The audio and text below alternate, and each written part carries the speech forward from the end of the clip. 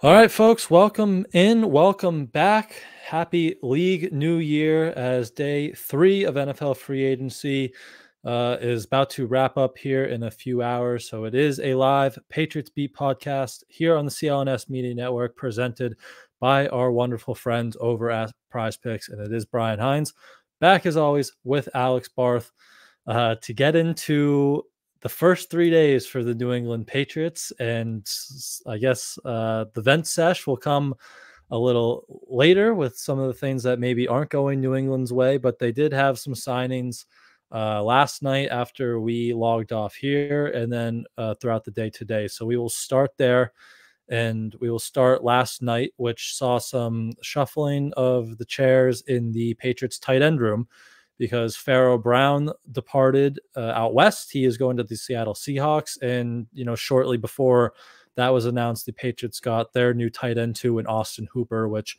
is a guy we all kind of saw as a natural fit, obvious fit. He spent two years under offensive coordinator Alex Van Pelt in Cleveland.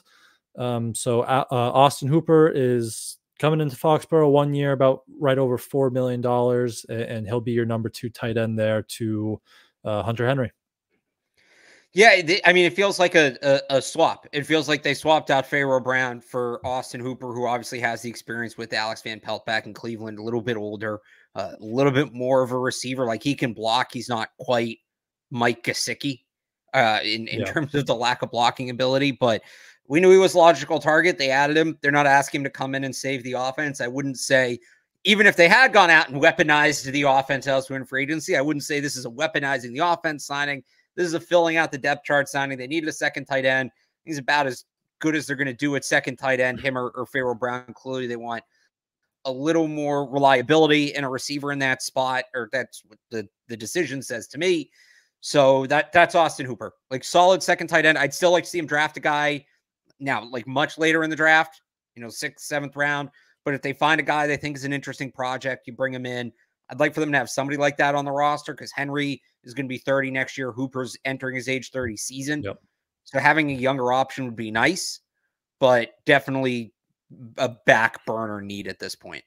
Yeah. Yeah. They're both 29 and they're both, or, or Hooper's a one year deal. So you want to get a project uh, type of player in there. And I don't know, like he's kind of a similar player as as Henry, right? Like they're not great blockers. Uh, they're not. I think he's a better blocker than he's, Henry. He's definitely a better blocker, but he's not like a you know impact run blocker. So they're still right. They don't have that at the position. He's not that like an explosive guy uh, in the passing game either. But he's a better fit than Mike Gesicki because I think last year like seventy percent of his snaps came with a hand in the dirt as an inline tight end. So it's a better complement to Hunter Henry. But yeah, you want to get a, a youth infusion in that room. You want to get a project player. Uh, maybe add some more explosiveness if you can. Maybe add an impact run blocker. Uh, but yeah, that's push that off to, towards later in the draft. But uh, I will ask you: it was Hooper for one year, about four point two five. Brown was just under four, and the other name that we all were looking at as Diego brings up was Harrison Bryant, which I believe he was like one year, like right in that three and a half million dollar range. So, uh, was Hooper at the top of your list out of out of those three? Would you say, or would you have preferred one of one of the other two? I would have brought Pharaoh Brown back personally. I, I think he's a capable enough receiver, and I think his blocking would have been massive in this in this system. Um, I, I, I, honestly, I probably have Hooper third. I would have taken Bryant. He's a little younger. There's a little more upside, but I don't think the gap between any of them is that massive. If if the biggest issue is that the Patriots went went with tight the end. wrong second tight end, we'd be sitting pretty right now. There's, I would love to be doing that show right yeah, now.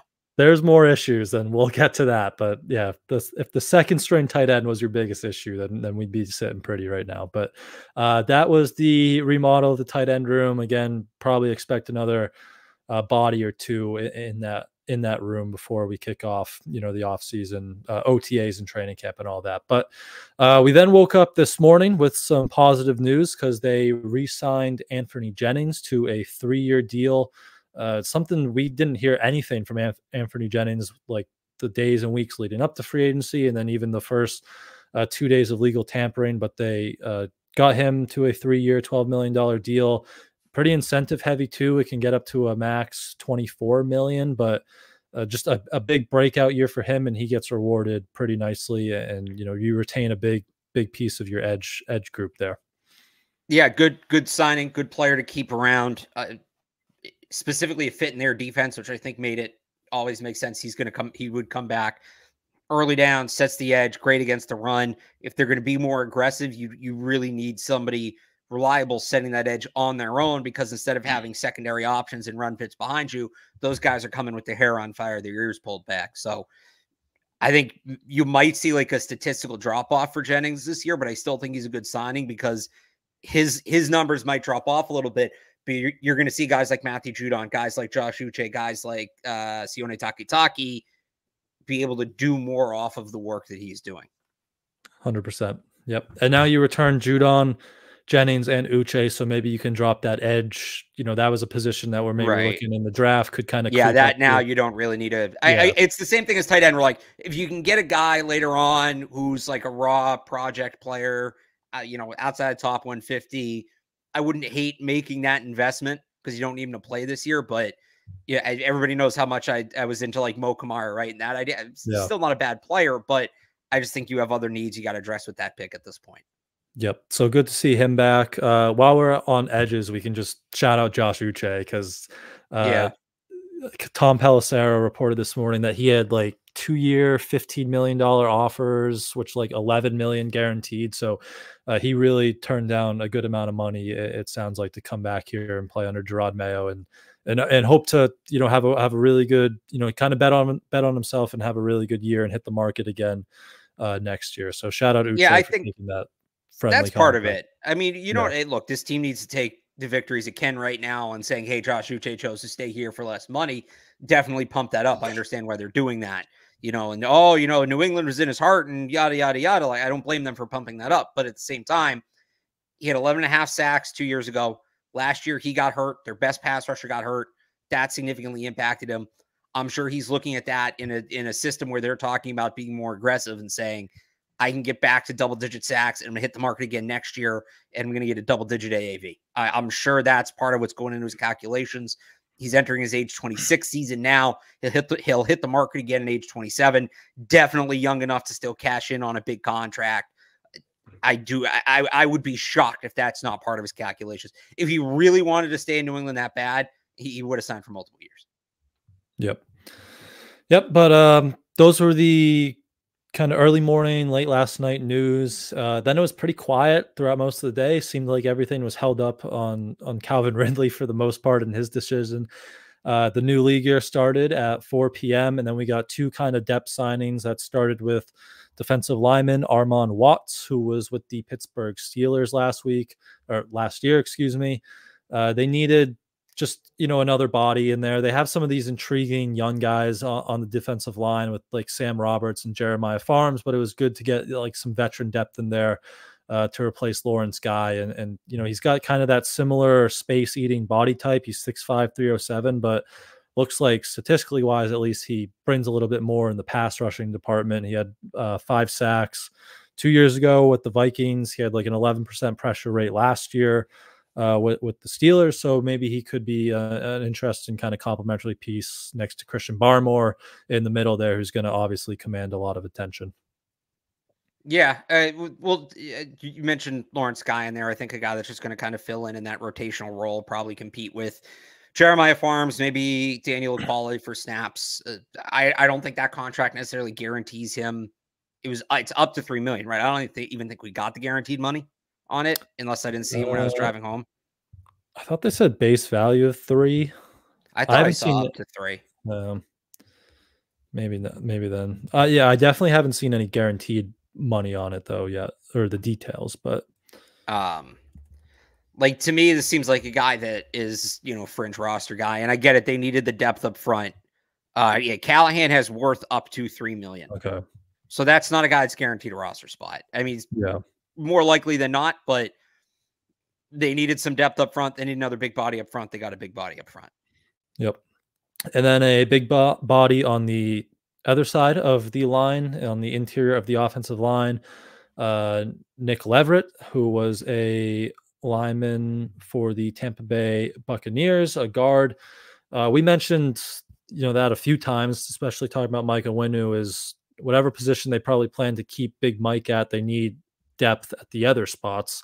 Uh, sounds like you know early reports are they're going to at least try Mike at, at, tackle, so you needed some guard depth in there, especially with Cole Strange kind of a question mark to uh, start the year after that season-ending knee injury. So Nick Leverett was didn't play much last year, but he, he logged over 700 snaps two years ago at, at the left guard spot. Uh, seems like just from some Bucs reporters that were talking about him, just like a, a real sturdy kind of solid backup can start in a pinch uh, if needed. So just good to get some depth in there, so you don't, you know, you're not looking at Antonio Mafi as your first line of first line of defense there uh, as a depth option. Yeah, a, a little concerning that they sign a guard before tackle and a guy with this kind of starting experience when you look at Cole Strange's outlook. Now, now let me qualify this. I don't think Cole Strange should be locked in as your starting left guard. He struggled at times. It is no longer the coaching staff. It is no longer the front office that drafted him. There is not that commitment you usually have to a first round pick. But I also, you drafted three guards in the top or three interior offensive linemen, three guys who can play guard in the top 150 last year.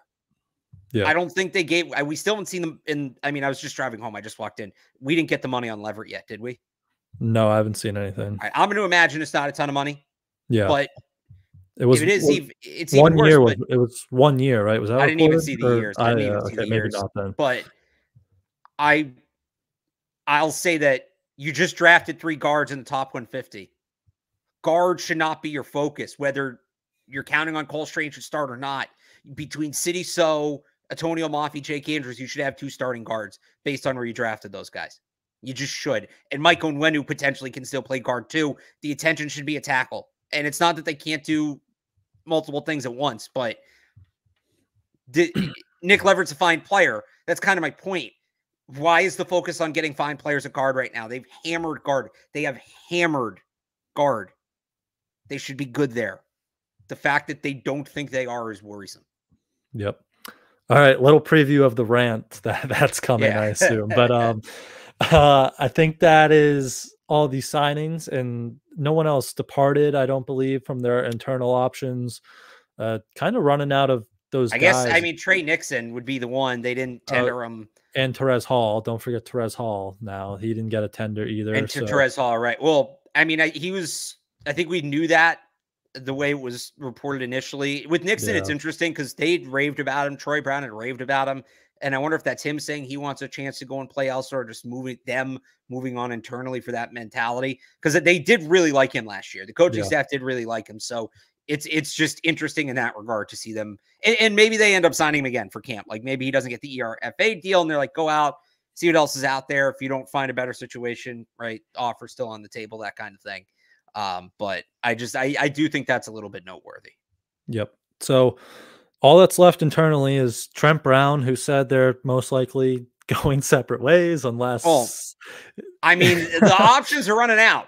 Yeah, the options the, are running out at that position. Options, uh, and then Myles Bryant, who we'll, we'll, see Cody Davis, probably a, a retirement candidate at this point, yeah. and then uh, Zeke Elliott, who missed that first wave of all that running back movement. I, I would think Zeke's with them uh, signing Antonio Gibson. I, I can't imagine. Yeah. Imagine Zeke comes back. Yep, I'm with you on that one. So yeah, four internal free agents uh, that are still out there. Uh, again, just mostly some depth signings, a uh, couple nice re-signings. Again, good to see Anthony Jennings back, but another kind of quiet day uh, for the Patriots. So we will take a very quick break. We'll hear from our friends over at PrizePicks, and then we will come back with some of the more big news and other things that the Patriots kind of missed out on during the during the day. So first, we'll hear from PrizePicks. Football season may be over, but the action on the floor is heating up. Whether it's a tournament season or the fight for a playoff home court, there's no shortage of high stakes basketball moments this time of year. Get in on the excitement with PrizePicks, America's number one fantasy sports app, where you can turn your hoops knowledge into serious cash. Testing my skills on PrizePicks this season is the most exciting way to play daily fantasy sports. If you have the skills, you can turn $10 into $1,000 with just a few taps. PrizePicks is really simple to play, and I can make my picks and submit my entry in less than 60 seconds. Download the app today and use code CLNS for a first deposit match up to $100. Use the code CLNS for the first deposit match up to $100. Pick more, pick less. It's that easy.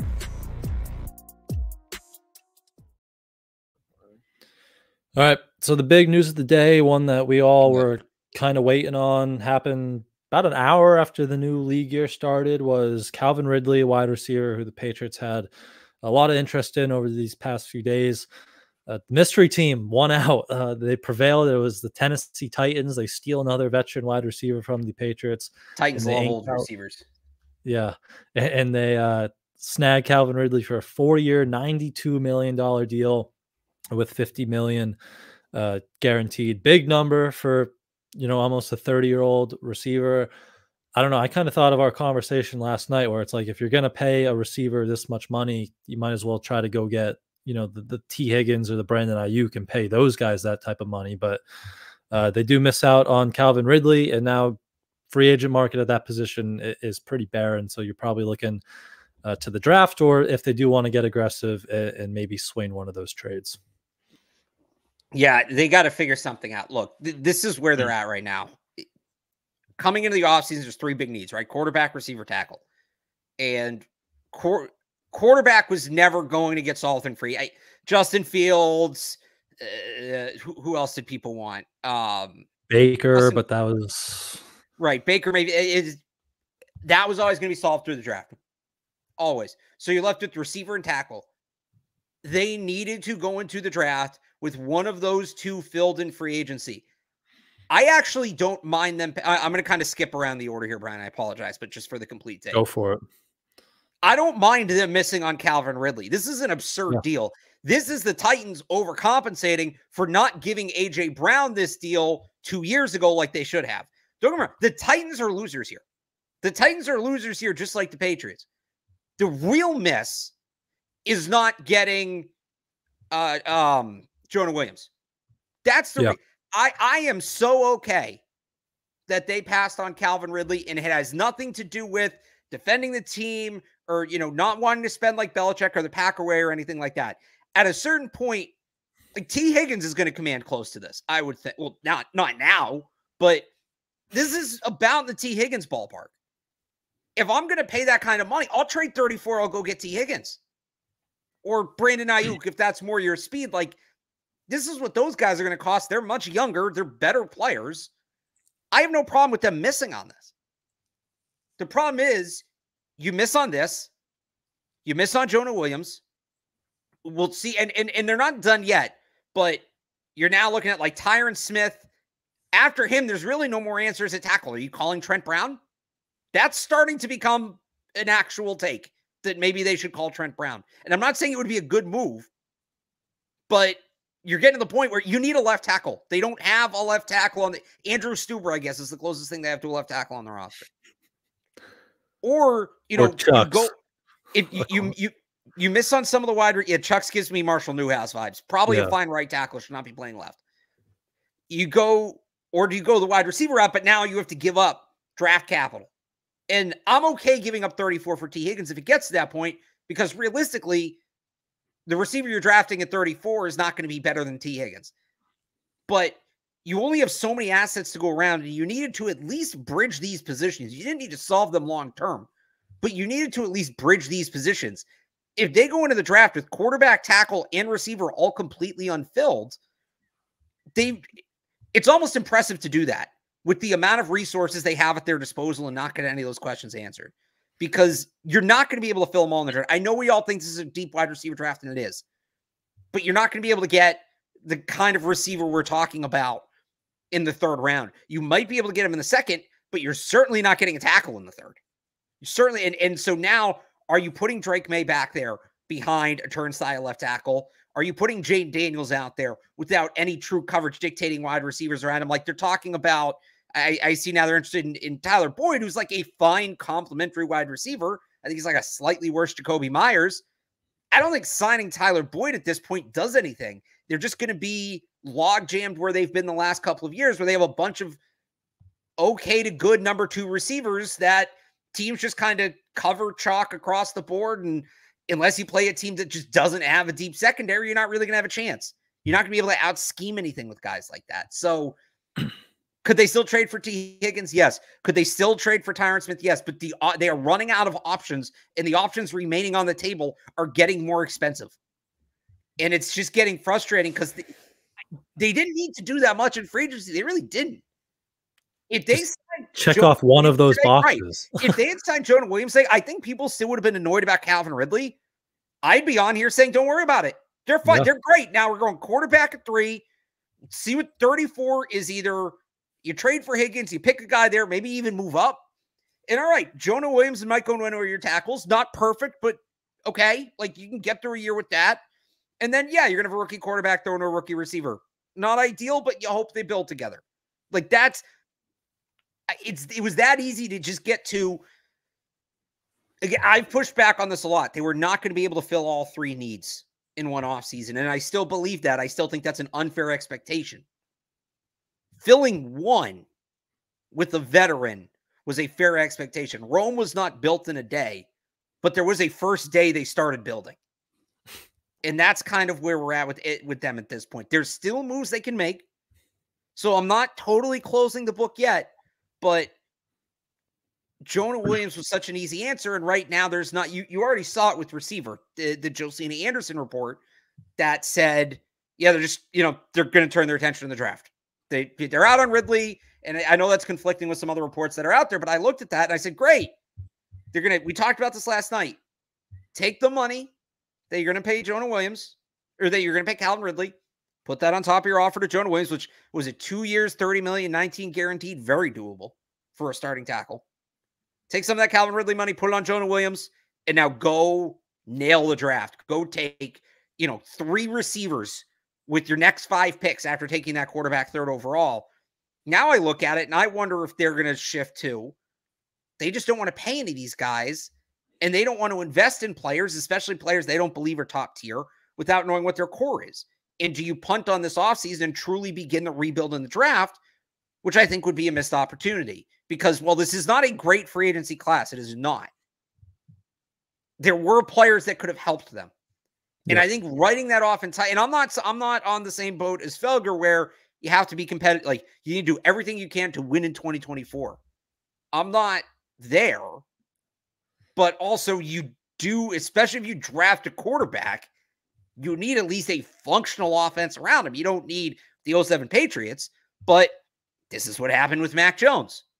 And so now I look at it and I almost wonder if they don't make any of these moves in free agency and the rebuild truly begins in at the end of April with the draft at that point, is it a true teardown? And do you trade down from three? And do you stockpile picks and draft Joe Alt and the next year trade up for the quarterback or whatever? Like that's suddenly becoming a much more realistic option. Because I've been sitting here say like, red in the face, QB at three, QB at three, QB at three. I assume that guy was going to either have his blind side protected or have a true number one receiver to throw to.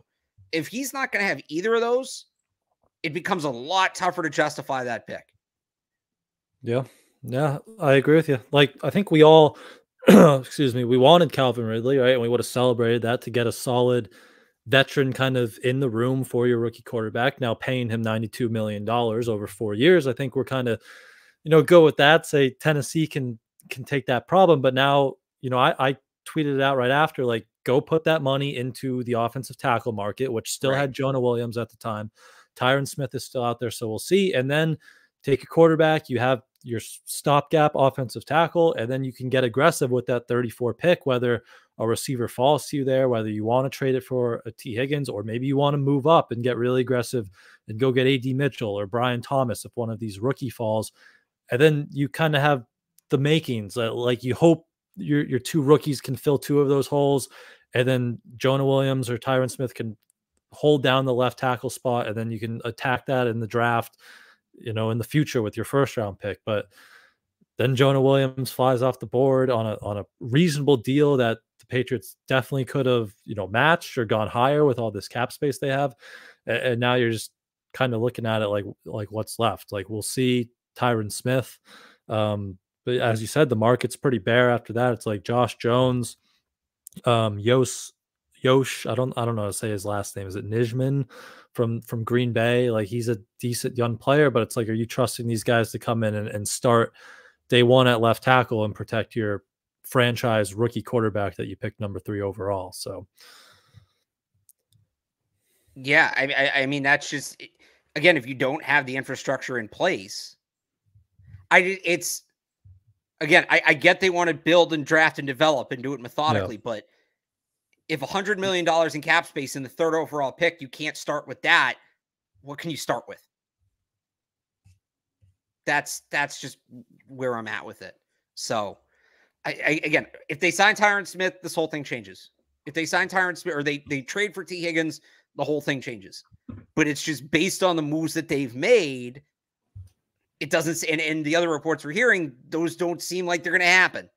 And and you compound with the fact that you had you know, we're going to burn cash in that comment. And you had Eliot Wolf tell Patriots.com that, yes, it's draft and develop, but when you have $100 million in cap space, you make moves. You have comments like that. It is kind of Red Sox ish. And it's full throttle esque. the bridge needs to go to somewhere. And you got to start build. If it's a bridge, you're fine. You got to start building the bridge. You have to start building the bridge. Yeah.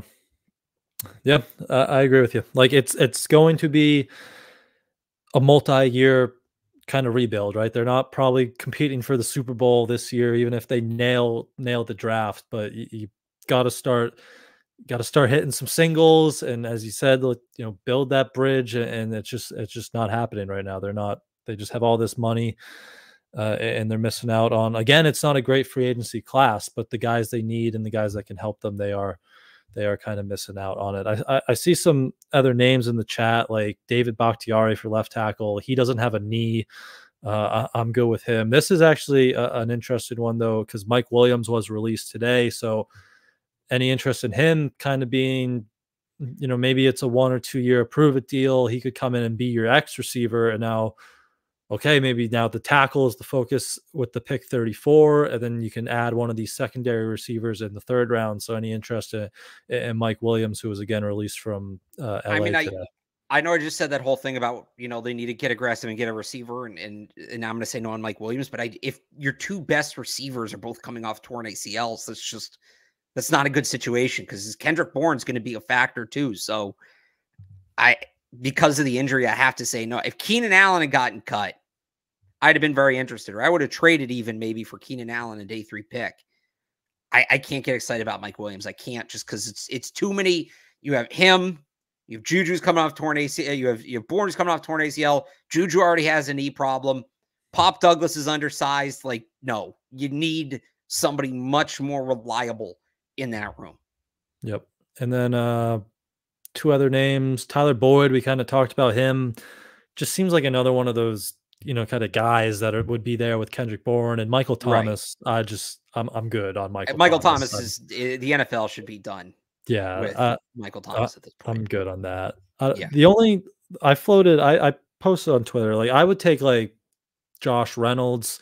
I know that's not lighting the world on fire, and he's kind of not just another one of those number two, number three, but he's kind of an X body type. If you could get him in, you know, if you're not taking one of these big swings, I wouldn't mind adding him and then still you have to get aggressive with that number 34 pick. But I'm good on Tyler Boyd. Really, I'm definitely good on um, who are we just saying? My, Michael Thomas, Slant Man. Yeah, uh, I, am good with them there. But um, so yeah, that's pretty much where we're at, I believe. Uh, I don't know anything besides those. Obviously, tons of focus on the receiver and offensive tackle positions, but anything else you think they should kind of look at here over the next few days or any specific player that's still lurking out there that that kind of has your your interest? I'd still add Stephon Gilmore. That's just the one i keep going back to like the fact he hasn't gotten paid yet tells me the offer's not on the table. Go okay they have still like 67 million in cap space. And they, they, here here's what i worry about. You have to get to the floor. So they're going to have to spend it at some point and you don't want to get to a point where there's no good players available, and you have to throw good money after bad because you have to get to that floor. And I, I'm pretty sure even extending Christian Barmore wouldn't help them because that wouldn't kick in till next year. Uh, well, they'd get the portion of the signing bonus added Okay, on this year's. So maybe you But that's- Christian Barmore's yeah. entire extension's a signing bonus. Then I don't know, but you, they do it to pay guys. They do have to pay guys, and you don't want to be put in a spot where you have to overpay players to get to that cap floor who aren't good players. So, I, do throw throw Stephon Gilmore 13, 14 million dollars at this point. Yeah. do something like that. Go throw Tyron Smith the money. Go get Tee Higgins and give him a con. Like they have to pay somebody, right? Yeah. I mean, what what was uh uh Jonah Williams two for thirty, right? So like, I mean, they should have done that in the first place, or even added a little money on top of that. So like, go throw that at, at, at Tyron Smith. Even you know, overpay if you're gonna overpay someone. If you have to overpay someone, at least overpay like the good players that are still out there and that will fill a position of need and, and help you uh, help you moving forward. So. Uh, we'll, we'll see what happens with there. Uh, speaking of corners, we did get a little news uh, with J.C. Jackson that there was some mutual interest uh, in a return there, despite him being released earlier this offseason. That's something we've kind of talked about. Kind of talked about that with like a similar type of uh, situation with Tre'Davious White. Like maybe if you're after the draft and you, you really didn't get a solid player to fill that second boundary corner, or you need a little bit more corner depth, maybe you bring in you know, a guy like JC or a guy like Tre White who has some question marks. Uh, you obviously hope JC is getting, you know, the attention and, and the help he needs off the field. But if he, you know, kind of checks those boxes, maybe he comes back on, on just a one year type of flyer there uh, later in the offseason. It's got to be a flyer. I just, I look, I, I hope the guy's doing better. And obviously, you know, mental health concerns are serious, but can you count on him? And I just don't think you can bring him in on anything more than a pure prove it deal. He's not an answer at second boundary corner. Like he's just not. You, you do anything you get from him is a bonus. And given the way it happened, like given everything that happened last year, and it seemed like there were issues that spun out around that within the locker room, it just it seems risky. I- i- if you're giving him no money, I guess whatever, but bringing him back just feels very risky. Yep. Uh, Xavier Howard, I'd say, is kind of in that same boat. He's on the older side. Um, so I don't know. I, I think they could do better. Hon- honestly, like I'd rather just see what Alex Austin and Isaiah Bolden have than like Xavier Howard. But Yeah. I, I mean, again, I'd bring him into camp on a flyer. I'd probably rather sign Xavier and Howard than J, uh, JC Jackson, yeah, but bring him into camp on a flyer. See, I, I have no problem putting a veteran in that group, but again, you have to spend the money. They have to get to that cap floor. Go sign Stephon Gilmore or one of those other. I'm out on Tre White. I again, I just think the injuries are um it's too much. He's been too hurt. And he's another guy I think there's reliability issues, but go pay Kendall Fuller. I don't think Kendall Fuller, right? Signed, right? no, I think he's still out there. Go sign Kendall Fuller, go sign Steph Gilmore, go sign Steven Nelson. Like go sign one of those guys. Justin Overpay him a little Simmons. I would still love if they. I would still Justin love Simmons. Justin Simmons. I actually forgot that he hadn't signed yet. Go, yeah. So there's still moves for them to make. Now we're talking about defense, which I think they're in Yeah. pretty good shape on defense. But again, you got to spend the money. You- They have to spend the money at some point, and you got to do it before all the good players are gone. Yep. Uh, back offense, DJ Humphreys got released today. He's a tackle, but he blew out his knee at the end of the year, didn't he? So I don't know uh, how they would view that. That's yeah, probably not was a ACL in January. That feels. Yeah. I'd put him in the minimum The money. bring him flyer camp, see where he's bucket, at. yeah. Yeah, he's not an answer. I wouldn't say he's an answer. He could be, but he's not an answer at left tackle. Not like oh, we signed. You know, we signed DJ. or- Right. But I was gonna say it's not like all right, you know, we signed DJ Humphreys, we're done. We have our tackle. It's not. He, he wouldn't fit in that category. Yep.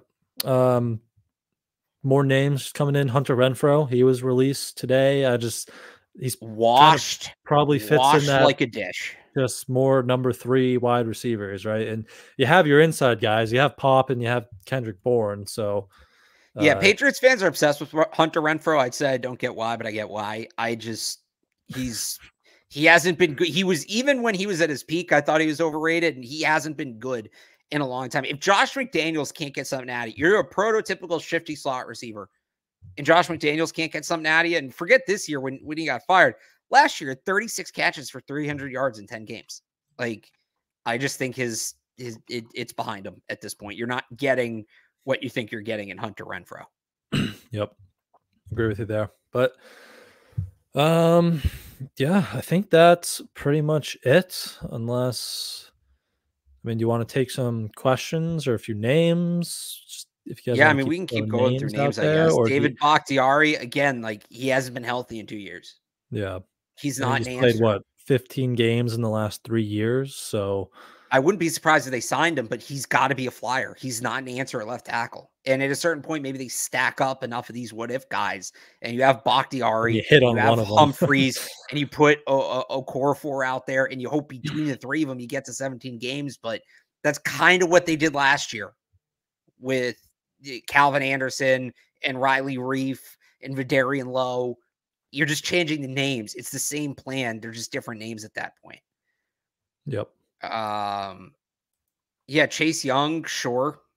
I would take Chase Young. I think he's doing visits, so that's a sign his market isn't nearly what he expected. I don't know. I, I mean, you got to have snaps for guys. I'm not going to turn away the talent, but between him, Uche, Jennings, Judon, it just feels like is everybody going to get on the field? I feel like that's either a tough sell to him or pissing off Josh Uche, which you don't really need to do at this point. Uh, you know, piss off an agent. So I'm not going to say no. It would just be interesting to see what that looks like. Yep. Um, I mean, you kind of touched on this, but kind of early. But if we want to, you know, maybe go to a little draft talk here, does what's happened the last three days change your opinion on what you do with the number three overall pick, or are you still quarterback? Like, are you still well? Look, if if they don't have a tackle or receiver, it becomes a lot harder to justify. I'm not saying you necessarily don't do it, but what did we just learn with Mac Jones? If you put a guy out there and you can't protect him, he's going to get sped up, and guys don't recover from that. And you compound that with not having people to throw to, and you potentially create an ugly situation. I know people have said they don't want to take a quarterback because they want to wait till it's a better situation. I was pounding the table for quarterback, assuming that there would be a Jonah Williams or Tyron Smith on the roster, and there would they would be upgrades at wide receiver, and there haven't been. I wouldn't pick a three if I'm not taking a quarterback. I would trade back because at this point, if this is what you're doing, you're talking about a long-term three to four year rebuild. You need to accumulate assets. I would move back, take either Joe Alt or Olu Fashanu, depending on how far you move back, and then yeah, and then we start talking about Quinn Ewers and we start talking about Shedeur Sanders and do they have the ammunition to move up where they need to move up next year? I they need to you got to have some mobility i think to play in the in the modern game carson beck's the first overall pick like 15 years ago i just i wonder if he's mobile enough to justify that and again like quinn ewers isn't the most mobile guy but he can scoot when he needs to scoot right i just beck maybe it changes maybe because he still has another year it's early to talk about the stuff Maybe Beck comes out next year and he's just, you know, diming it. He's just putting it on guys constantly. And it's like, all right, his arm is so elite that we're going to make it work with him as a pocket passer. But I'm going to need to see that before I put him in that conversation. You want you want to pull up the 2025 quarterback big board? You want to do this, Brian? Somebody clip it. We we are looking at 2025 2025 quarterbacks. Uh 9 10 p.m. March 13th. 2024. I'm still picking um, one at three right now, but I I guess we can do it. I still on, probably am, but I, I, I just, of free agency with not much to talk about here. right. I think we're we're probably talking about Cam Ward, Shedeur Sanders, and Quinn Ewers. I'm not super into Riley Leonard. Uh, I'm not super into Curtis Rourke in terms of franchise potential. Jalon Daniels from Kansas is an interesting player, but he's not big. I don't know that he's built for the NFL you have Carson Beck, you have Will Howard, who are kind of similar guys. I used to like KJ Jefferson. He fell off last year. Cam Rising's a college quarterback. Cade Klubnik, there's no way he's coming out next year. Drew Allar sucks. That whole thing didn't work. Uh, Kyle McCord sucks. That whole thing didn't work. you want Jaxson Dart? Is Jalen Milroe going to have a Jayden Daniels type of ascension? Like, this is what we're talking about. Hmm. Yucky. Yeah, I, am right. still so Yeah. I'm still taking one where we stand. Yeah, I'll now. give you one name we're not going to discuss. Arch Manning's a bust as a college player. I'll tell you that right now. I Texas had a chance to play him last year. They they were no, because Texas had a chance to play them last year. They were They were a, a playoff. I mean, they made the playoffs, but like they're in the hunt for a playoff team er, to be a playoff team. They lose their all American esque starting quarterback. You have this supposed great five star recruit. You have a chance to save your season. And what do they do? They turn to the other guy whose name is is escaping me right now. Uh, they turn to Maalik Murphy. Yeah. Who uh, Maalik Murphy's, I mean, not a bad player, four star recruit. Like, I don't want to dump on Maalik Murphy here, but if Arch Manning's this generational player, you're trying to win a championship, you need a quarterback. Wouldn't you go to him? Wouldn't it make sense if he's that good to go to him? I'm a big believer in teams tell you the most about their quarterback. I said it when the Niners traded up to take Trey Lance that they didn't believe in Jimmy Garoppolo. That's all you need to know that Jimmy Garoppolo isn't that good, that the Niners felt like they had to make that trade to move on from Jimmy Garoppolo. If Texas actually believed in Arch Manning truly to the level that he's believed in externally, I think he would have gotten a shot. And people talk to me about eligibility or whatever. He's going to the draft as soon as he can. Don't worry about eligibility. He's not taking a COVID year. He's not taking a fifth year. I, am I'm, I'm not a believer in Arch Manning. Although the Patriots having Arch Manning throwing to Marvin Harrison Jr. Marvin would Harrison. be objectively hilarious. I, I will say that. That would be funny. That would be funny. But um, yeah. So there's your 2025 uh early. Well, Arch Manning's 26. 26. Your 2025 and 2026 way too early uh, uh quarterback preview. You, you want to talk 26? You want to talk 26? it's Dante Moore and Malachi Nelson.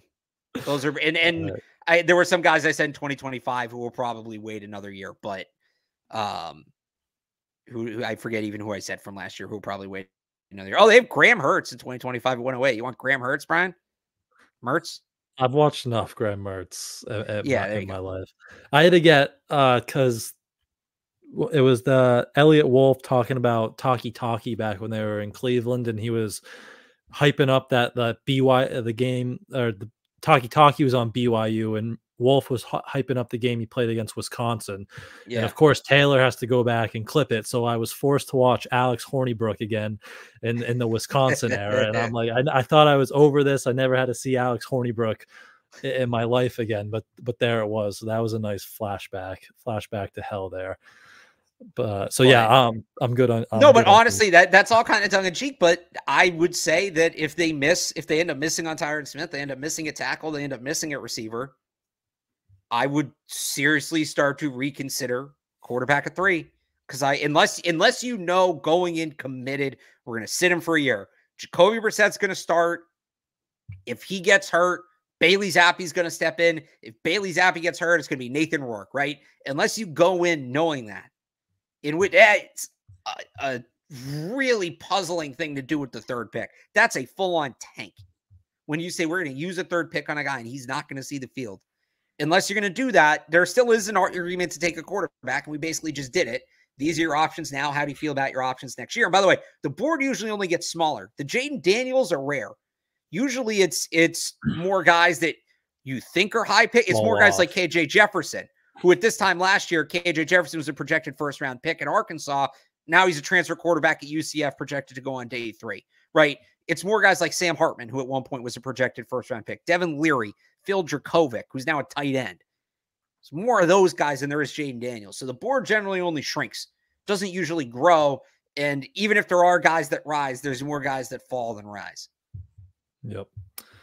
All right. Let's we good to wrap it up there, or any other events you got before we before we log um, off?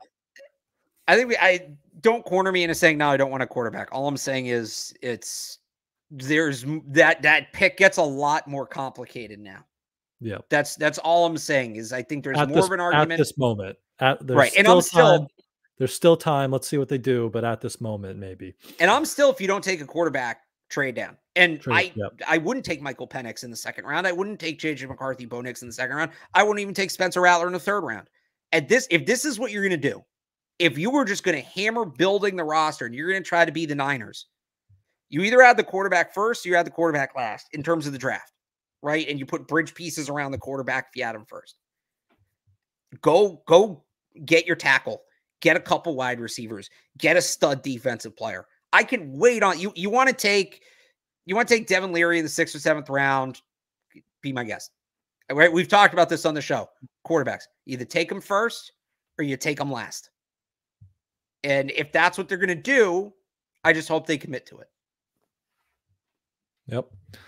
Yep. So we'll see, but we can wrap it up there. We'll be back uh, tomorrow night. Hopefully, we have more uh, stuff to talk about and better stuff tomorrow. Let's log on here tomorrow, and we we got a left tackle. We have Tyron Smith under contract.